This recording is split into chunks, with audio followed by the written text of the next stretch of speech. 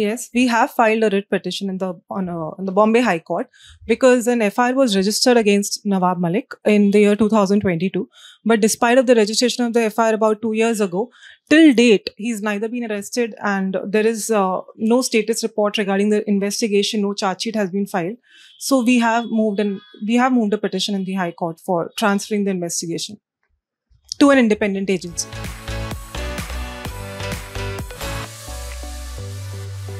So presently, this is what actually we are pressing upon in the Honorable High Court that uh, uh, there. I mean, there is a.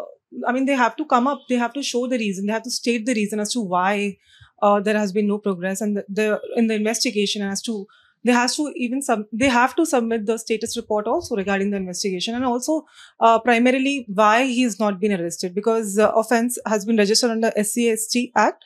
It's a non-bailable offense. Despite of that, he's not been arrested.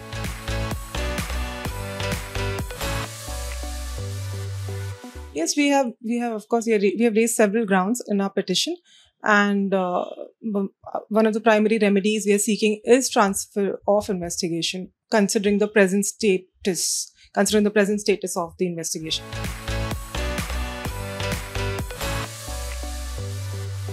The FIR has already been registered. Despite of an existing FIR, there was a recent attempt to uh, defame my client, and he continues to defame him, and hence you know, we have moved a writ petition appropriately.